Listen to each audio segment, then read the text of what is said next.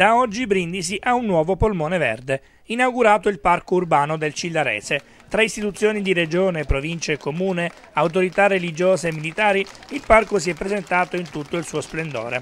Particolarmente suggestiva la cerimonia di consegna ai cittadini che nell'occasione hanno potuto raggiungere l'accesso all'entrata dell'area verde di via Provinciale San Vito dopo una inedita passeggiata sul lungomare del seno di Ponente.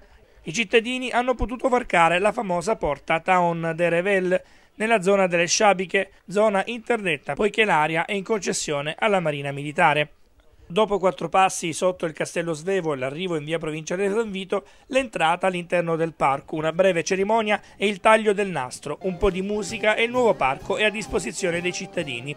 Realizzato con i fondi e le autorizzazioni delle precedenti amministrazioni comunali e portato a termine dall'attuale governo cittadino, il parco è un'area verde che si estende per 23 ettari, si trova tra la diga del Cilarese e via Provinciale San Vito ed è circoscritta dal canale e dal quartiere Minnuta.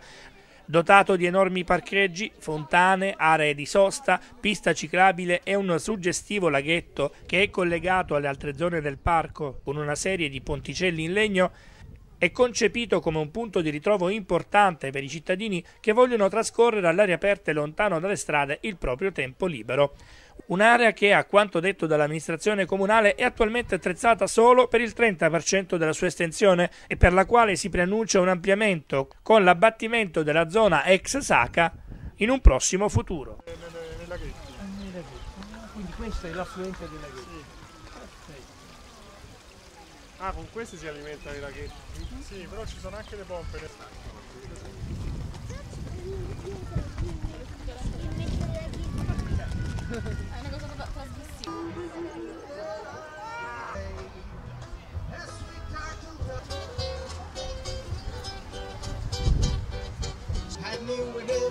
Loving, I'd make her stay.